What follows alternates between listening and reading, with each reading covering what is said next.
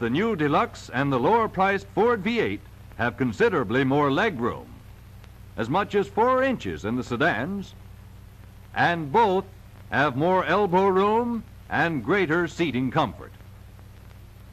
The appointments are of the type that appeal to all prospects, that help you sell the car on sight. For 1940, the Deluxe Ford has a smart two-tone instrument panel in maroon and rose sand with two conveniently placed ashtrays, one at each end. And with a new instrument grouping that puts speedometer, gauges, and headlamp beam indicator directly in the driver's line of vision through the new two-spoke steering wheel. The glove compartment has plenty of room and is equipped with a clock on the door. The two-tone harmony of the deluxe instrument panel is carried out in the steering wheel and fittings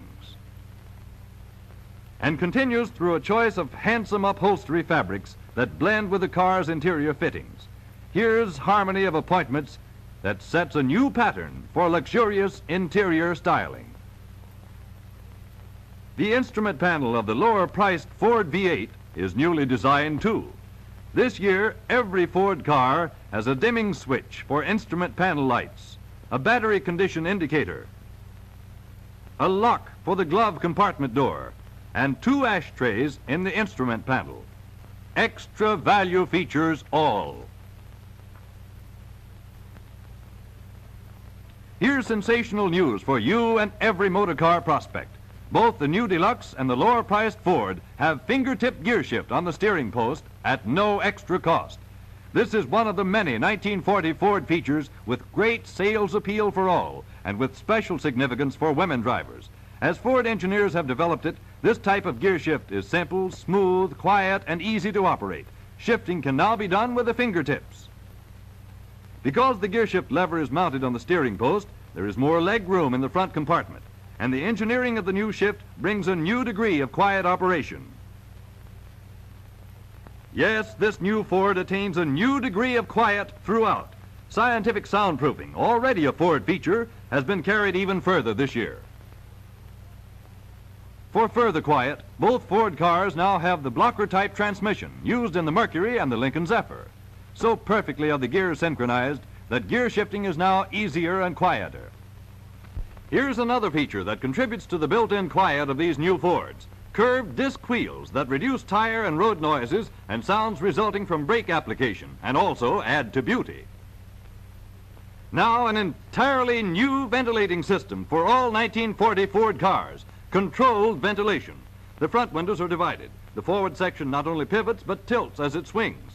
The rear half of the window rolls down completely, leaving no metal strip to obstruct the driver's vision or to interfere with hand signals.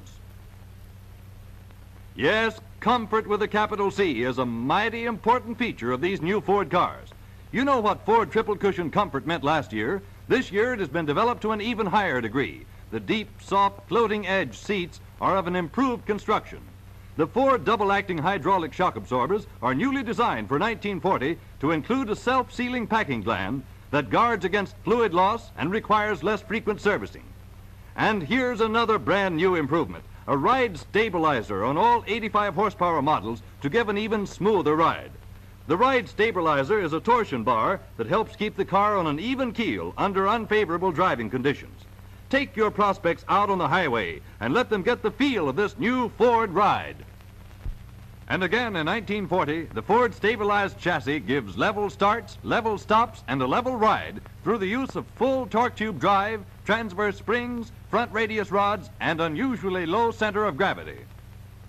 For 1940, the spring suspension has been improved through the use of a longer front spring on all 85 horsepower Ford models. Both front and rear springs are softer. Demonstrate this new Ford ride to every possible prospect. Look at this new two-way adjustable driver's seat. This seat is now adjustable within a range of four and one-half inches and rises as it slides forward without changing the correct restful angle of the seat back. There's added comfort, too, in the design of the new type resilient front seat backs. They make possible additional inches of leg room without sacrifice of comfort. Safety is always an important sales factor, and these 1940 Ford cars give you a chance to present a safety story that can't be beat. For safety at night, new sealed beam headlamps. This new type headlamp that gives 50% greater illumination and permits the driver to see nearly twice as far ahead, and the original efficiency lasts practically for the life of the lamp. Lamp bulb, lens, and reflector are sealed in a single unit so that dust and moisture can't get in to corrode the reflectors.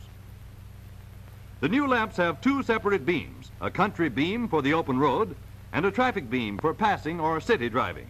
The traffic beam, stronger than the previous driving lights, is directed down the side of the road at a sharp angle to the right so that approaching drivers get no glare, yet all objects are clearly revealed. For convenience, the control button has been moved to the left of the clutch pedal. And the headlamp beam indicator is now centered above the instrument group directly in front of the driver. Demonstrate the sealed beam headlamp system at night. Show the greatly improved vision and greater safety these lamps provide. All new Ford cars have separate parking lamps set into the rims of the sealed beam headlamps. For further safety, through better vision, the dual windshield wipers on the 1940 cars are now mounted at the base of the windshield. And for 1940, the big powerful Ford hydraulic brakes have steel drums with cast iron braking surfaces, which are quieter in operation. But now, let's look beneath the hood. Again this year, the V-type eight-cylinder engine that has given dependable, economical performance to more than six million owners. The engine that has made the term V8 synonymous with the Ford name. Plus a new battery of 20% greater capacity. And a higher output generator to meet the demands of the sealed beam headlamps and the many other electric units to be found in these 1940 cars.